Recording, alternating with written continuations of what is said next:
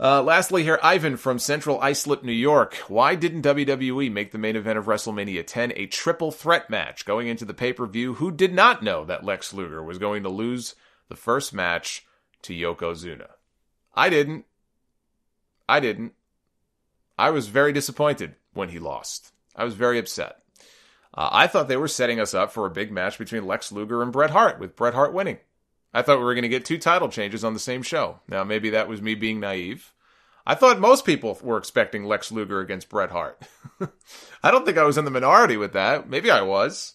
Maybe I've been wrong all these years. I, I thought it was, uh, uh, you know, a pretty popular thought that most people were hoping for and expecting Luger to beat Yoko and then lose to uh, to Bret Hart. Uh, as far as why wasn't it a triple threat match, they didn't do triple threat matches back then in WWE. They didn't have their first triple threat match, I don't think, until I want to say early 96. And this was probably after ECW had their first three way dance, which uh, may have been in 90. When did they have their first three way dance? I was going to say 95. I feel like it was earlier than that.